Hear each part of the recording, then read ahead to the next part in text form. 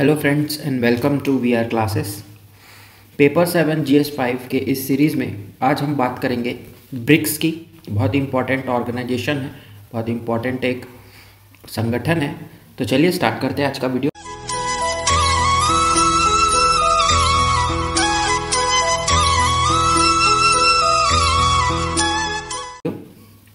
सी friends BRICS जो है, वह पाँच शब्दों से मिलकर के बना हुआ है। बी आर आई सी और एस इसमें एक एक शब्द एक एक देश को दिखाते हैं। बी से ब्राज़ील आर से होता है रशिया आई से होता है इंडिया सी से होता है चाइना और एस से होता है साउथ अफ्रीका। यदि आप गौर से देखें तो ये अलग अलग कंटिनेंट्स की बात करते हैं। ये ब्राज़ील जो है, वो साउथ अमेरिकन कंटिनेंट में है। रशिया जो है, वो रशिया में है। ठीक है यूरोप सॉरी यूरोप में होगा ये ठीक? इंडिया और चाइना एशियन कंटिनेंट में है और अफ्रीक साउथ अफ्रीका वो है वो अफ्रीका कंटिनेंट में है। तो इस तरह से हम देखते हैं कि इंटर कॉन्टिनेंटल एक ग्रुप बना हुआ है अंतर महाद्वीपीय ये ग्रुप है बहुत ही इंपॉर्टेंट ग्रुप है क्योंकि ये वर्ल्ड के आ, बहुत ही लार्जेस्ट बोल सकते हैं आप एक ऐसे पॉपुलेशन को कवर करता है जो कि विश्व की जनसंख्या का बहुत ही ज़्यादा बड़ा प्रतिशत यहाँ दिखेगा, क्योंकि इंडिया और चाइना दोनों ही इस ग्रुप में शामिल है, प्लस रशिया, ठीक है? तो इस तरह से हम देखते हैं कि ब्रिक्स जो है, वो अपने इम्पॉर्टेंस जो है, वो और भी बढ़, बढ़ा देता है, ठीक?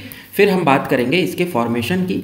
तो फॉर्मेशन जो हुआ था, वह बहुत ज़्यादा पुराना तो नहीं है but formation was done on 2006 यहाँ से इसके फॉर्मेशन की कहानी शुरू होती है।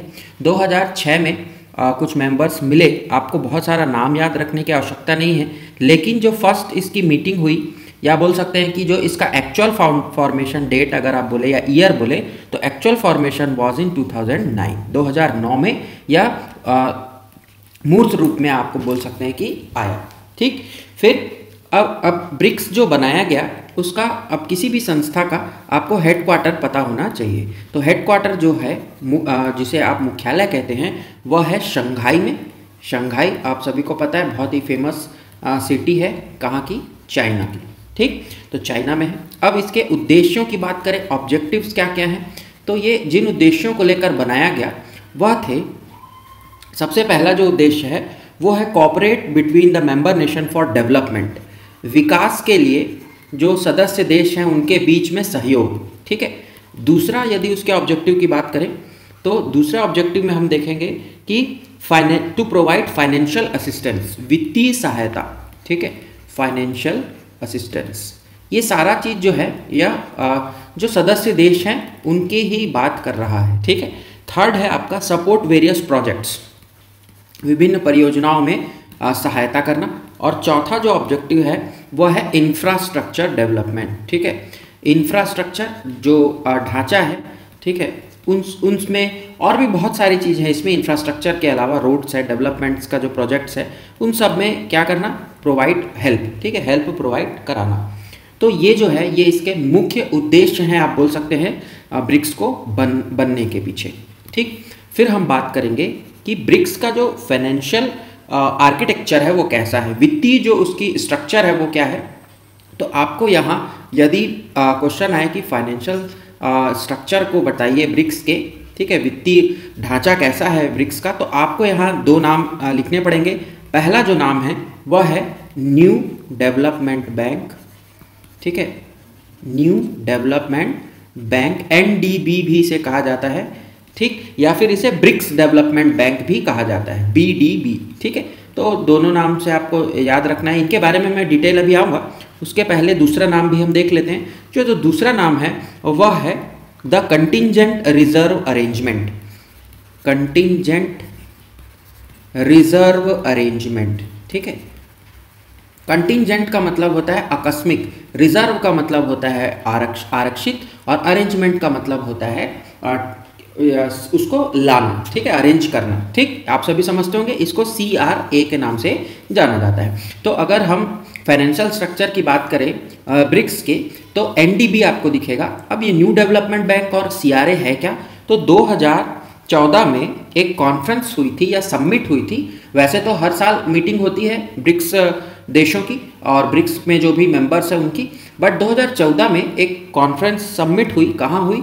फोर्ट लेजा फोर्ट लेजा सबमिट हुई, ठीक है, ब्राज़ील में है ये। और फोर्ट लेजा सबमिट में एक रिजोल्यूशन पास किया गया कि हमें एक बैंक का डेवलपमेंट करना है, जिसे एनडीबी के नाम से जाना जाएगा, और एक सीआरए बनाना है, जिसे कंटिजेंसी रिज़र्व अरेंजमेंट बनाना है फॉर द ब्रिक्स एसोसिएशन, ठीक है। तो उसी के आधार पर न्यू डेवलपमेंट बैंक को बनाया गया। 2014 में यह घोषणा हुई, ये साइन किया गया, और 2015 से ये बैंक आपका एक्टिव है। ठीक है?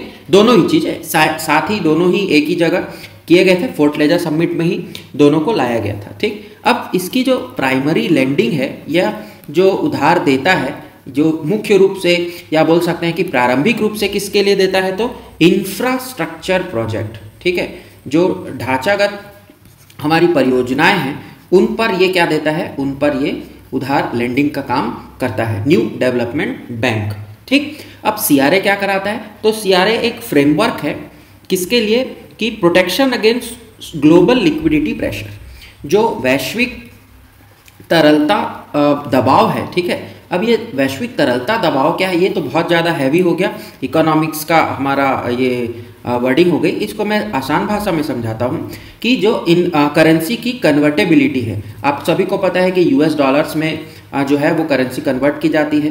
तो यदि कुछ ऐसे देश जो अंडर डेवलप्ड हैं या डेवलपिंग स्टेज पर हैं, उनकी करेंसी की वैल्यू क्या हो जाएगी? उनकी करेंसी की वैल्यू लो हो जाएगी. As compare to the developed nations तो उनके बीच यदि कोई ऐसा लिक्विडिटी का, ठीक है प्रेशर आता है तो वहाँ पर ये सीआरए जो है वो अपना काम या अपना जो रोल है वो अदा करता है. ठीक? इसमें बहुत ज़्यादा आपको सोचने की ज़रूरत नहीं. सी अगर आएगा तो आप इतना ये बातें लिख देंगे that will be more than enough okay अब हम बात करें इनके मीटिंग्स की या सबमिट्स की.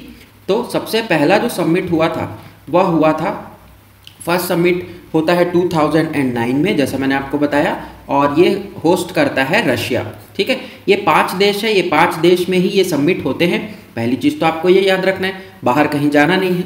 ठीक? और जो बारहवीं सबमिट हुई, जो हुई पिछले साल 2020 में, यह क्योंकि कोरोना पेंडेमिक के कारण इसे बढ़ाया गया था इसको क्या किया गया था? इसको आगे बढ़ा दिया गया था। नवंबर में हुआ। ये वर्चुअल सबमिट हुआ लेकिन again by the Russia hosted by the Russia अब जो तेरहवा सबमिट होने वाला है वो इंपॉर्टेंट हो जाता है 2021 में। इस वर्ष जो होने वाला है क्योंकि इसकी जो होस्टिंग करेगा वो हमारा प्यारा भारत देश करेगा। तो इसीलिए 2021 में आ, इंडिया जो है वो थर्टीन सबमिट को होस्ट करने वाला है। इसकी डेट जो है वो अभी डिसाइड नहीं है। डिक्लेयर होगी थोड़े दिन बाद। तो जब होगी तब आप अपडेट कर लीजिएगा। यदि मेंस के पहले होती है तो आप केवल 2021 लिख दीजिए। ठीक? तो ब्रिक्स के आ, जो लेक्चर था उसमें इतना ही आपको जानना है। यदि आपको और भी जानना है तो आप कमेंट सेक्शन में ज़रूर लिखें कि आपको और क्या जानकारी चाहिए। तो ऐसे ही वीडियोस आपके लिए आती रहेंगी। और सेकेंड पार्ट जो है हमारा वो लगभग कंप्लीट हो गया है। इसमें आशियान जो बचा हुआ है वो हम नेक्स्ट वीडियो में देखेंगे। तो आज के इस वीडियो में इतना ही। Thank you for joining thank you very much.